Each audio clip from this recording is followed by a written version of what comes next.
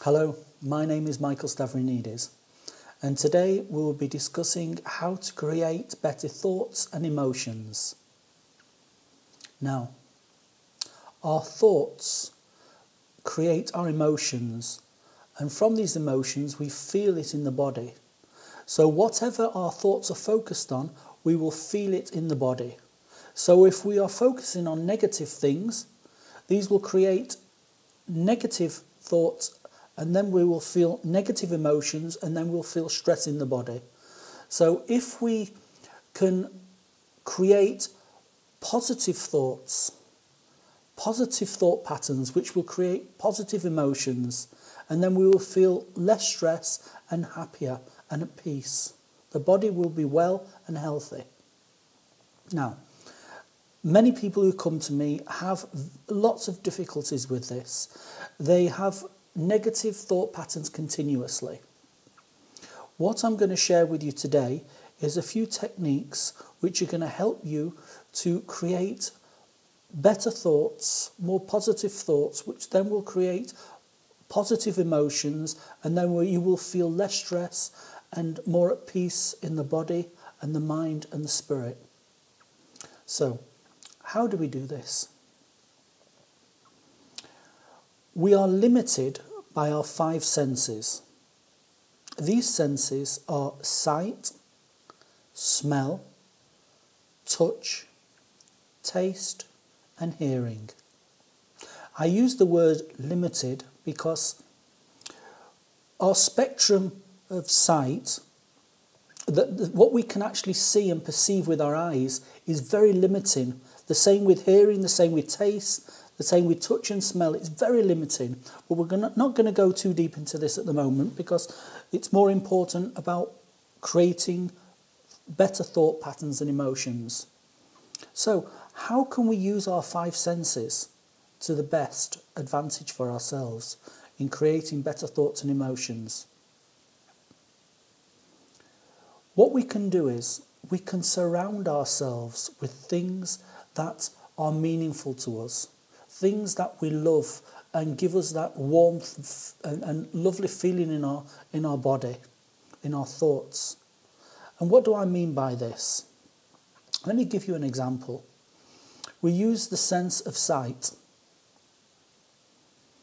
So surround yourselves and wear things which create a stimulation when you look at them, something that means something to you, something that you love. It, we're not talking about it costs a lot of money. We're talking about there is deeper meaning. It could have been passed down to you from a, um, a grandparent or a parent or someone you love. Um, have things around you in your house that stimulate a positive feeling. Let's say, for instance, when you go on holiday and you have a wonderful time, go to the beach or, or, or go somewhere and pick up something like a little stone or rock which will bring you back to that emotion. So when you see this again in your house, they will stir those wonderful emotions up for you. They'll take you back to the place where you were when you collected it, where you were having a, a happy, peaceful time. And now, with smell, you can do many things. You can uh, simulate the smell with beautiful aromas, which make you feel warm and healthy and happy. Um, burning joss sticks is a nice one. Having a diffuser and certain, excuse me, certain aromatherapy oils, you know, which can stimulate the room and stimulate your sense. Now with touch, touch you can have things that you like, maybe a beautiful uh, material or things like it doesn't have to cost a lot. Always remember that. Just makes you feel comfortable and nice and warmth. Some things which um, take us back to our childhood. The, the touch of a, a certain fabric reminds us of when we were when we were being cared for by our grandparents or our parents. It just stimulates that thought in our mind. Now we go to taste. This is quite an interesting one, actually. And this goes back to mindfulness. A lot of the things we actually eat and drink and so on, if we actually are really mindful of these things, we, we may not even like them that much, but we just eat them. Try to be mindful about what you eat, not just for a healthy um, perspective, which is very important, of course, but to stimulate yourself, stimulate the senses to create these positive emotions. Really think next time you're eating something, am I, do I really like this? Is it something that tastes good? You know, what's it stimulating in, in, inside your mouth and your senses? Now, one which is a hearing is very interesting. Play some stimulating music. You know, you don't have to have the telly. Sorry, excuse me again. You don't have to have the television on all the time. Sometimes play something that stimulates me stimulates you. A, a, a song from the past. I was, uh, I used to make collections of inspiring music, ones which took me back through the decades, and each one made me smile and revisit these wonderful memories about um, the time when I first listened to it. Most couples they have uh, songs which they say this is this is our song, so you're getting the idea. It takes your mind back to the time of that happy moment and it stimulates it. Now, one other thing about hearing and these other, these other um, senses, we all experience them inside the mind. It's like with hearing. We don't hear like we think we hear. Sound waves create electronic impulses, and these electronic impulses create um, the brain to give us an example of what we're hearing. So this is what hearing is. It's it's it's an it's an electronic impulse in the brain which creates the idea of what we're hearing. Th that's for another time. We'll go more in depth in this in another video. Excuse me again. Now, One thing um, which I'd like to share with you, which I find very fascinating, and we go back to the hearing.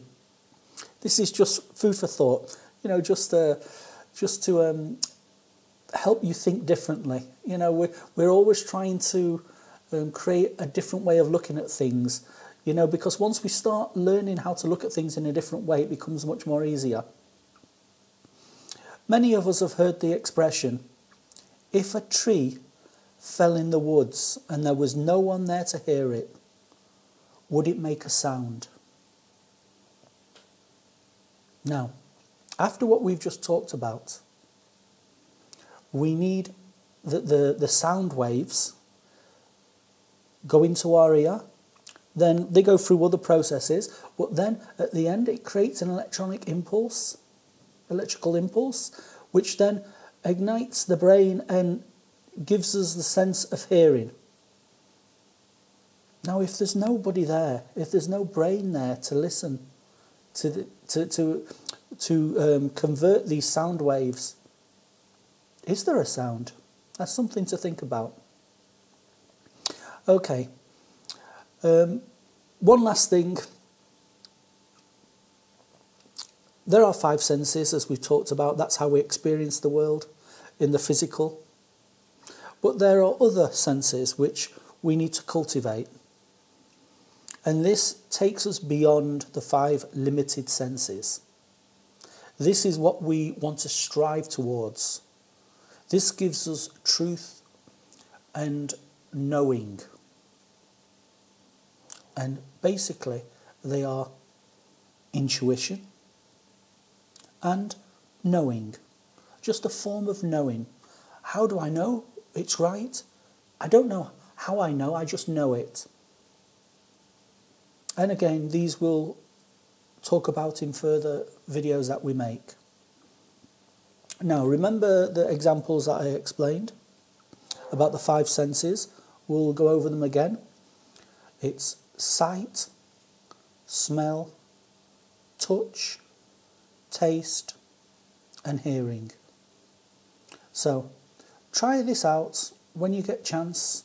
You know, start surrounding yourself with selves with things that mean something to you. And you know, just every now and again just look at them and bring that emotion back into the body. Remember where, where it came from, who gave it to you, where you were at the time, and see how the body feels. These thoughts will create these emotions, and then you will feel it in the body. And we are making and creating positive thought patterns which will lift your vibration and create a, a beautiful feeling of peace and comfort and happiness in the body and the mind and the spirit. So I hope this has helped you. You can follow us on Facebook, on YouTube. Just type in Natural Healing and Wellness Centre Paphos. You can also visit us at our website, the Natural Healing and Wellness Centre Paphos. All the information will be below. So, any way you want to contact us, you're more than welcome. Thank you and bless, bless you all on your journey.